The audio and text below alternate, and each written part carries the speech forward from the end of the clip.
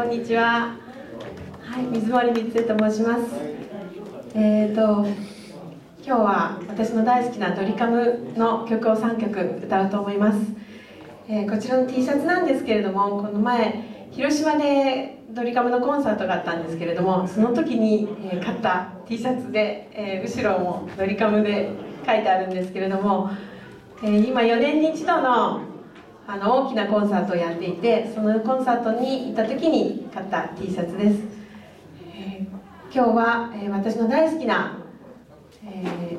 ー、嬉しい楽しい大好きという歌とあと未来予想図2とあとですね今日実は11月10日が、えーと、私の、まあ、大切な方の誕生日でしてそれをその今日という日にちなんで「ハッピーハッピーバースデー」と3曲歌わせていただきます。はい、よろしくお願いします。えー、ご存知の方は皆さん手を叩いたり手を振って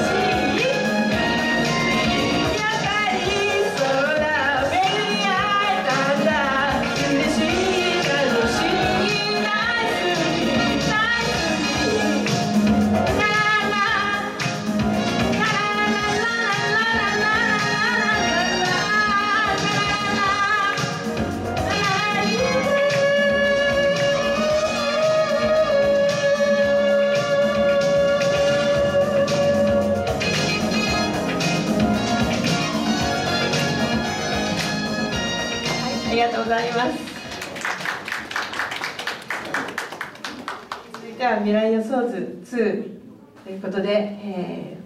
ー、卒業してから3年目の春ということで、まあ、今秋なんですけれども、えー、学生の頃によく聴いていた歌で、えー、いてください「未来創図です。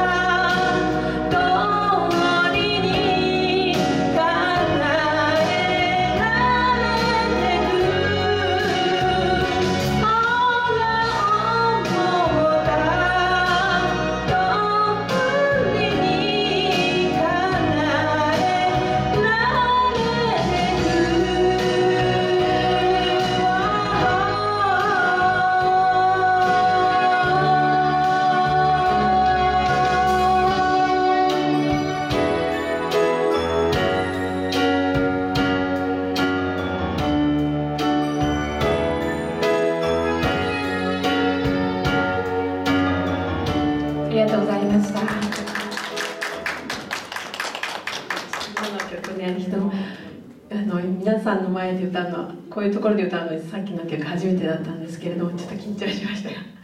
えとそれでは最後3曲目は「えー、ハッピーハッピーバースデー」えー、短い曲なんですけれども、えー、今日誕生日という方また明日誕生日明後日誕生日そして今月11月、まあ、12月でもみんなそれぞれ年に1回、ね、必ず、えー、誕生日が来ると思うんですけども。えー、っと、えー、私自身、えー、っとですね、去年、すいません、えー、去年からずっと、えー、っと、えー、歌に支えられてきたので、今日は、えー、っと感謝の意味も込めまして、すいません、えー、っと、ハッピーバーハッピーバースデーを歌いたいと思います。えもし知ってる方いらっしゃいましたら、え一緒に歌ってください。はい、よろしくお願いします。